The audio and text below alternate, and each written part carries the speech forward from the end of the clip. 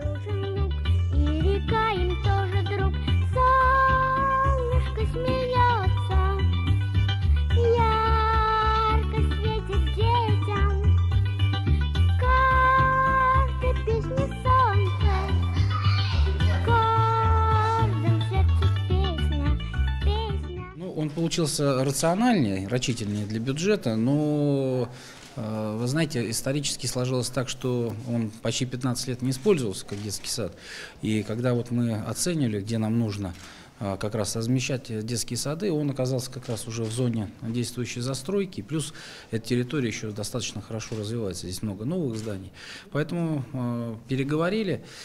Э, собственником помещения здесь был проектный институт, они построили себе новое здание, соответственно, в Туле, переехали, и э, муниципальное образование уже выкупило, и совместно за региональные, федеральные, муниципальные деньги вот привели в порядок этот детский сад. То есть 220 мест у нас, бюджет получился 111 миллионов рублей. Ну, то есть вот сами видите, в принципе, хороший, э, рациональный детский сад. Мы ее на Новый год э, победили, а вот сейчас за эти рождественские праздники у нас э, появилась очередь, 6 человек. Вот, поэтому 6 человек есть, поэтому будем, все равно будем эту проблему решать и дальше.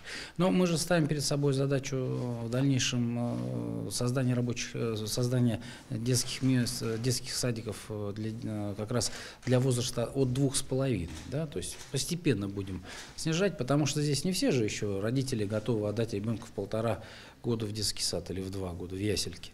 Поэтому здесь э, будем двигаться постепенно, два с половиной года будем сейчас для себя ставить задачу. Общая очередь у нас вот в принципе заявок, которые есть, 2000 человек, это в основном ребятишки от нуля до трех лет. Но, честно говоря, в основном там, э, что называется, люди встают в очередь, чтобы попасть уже после трех. Поэтому вот, э, реальная очередь, я думаю, человек 500-600, которую тоже потребность есть, будем дальше двигаться. Но мы строим еще два детских сада в Туле, поэтому мы э, будем с этой задачей справляться и дальше.